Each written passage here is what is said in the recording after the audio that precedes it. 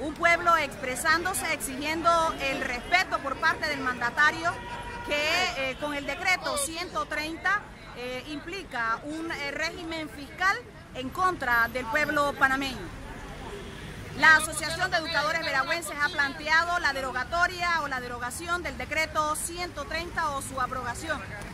y a la vez está planteando un amplio debate con toda la ciudadanía, con los diversos sectores del país para que se establezca un régimen o se pueda discutir sobre un verdadero régimen fiscal un régimen fiscal que realmente tome en cuenta la economía de todos los panameños o de las grandes mayorías o de las mayorías de los panameños. Por eso hoy estamos acá y el pueblo está exigiendo la derogatoria del decreto 130. Exige un amplio debate para discutir la materia fiscal. No más abuso contra el pueblo,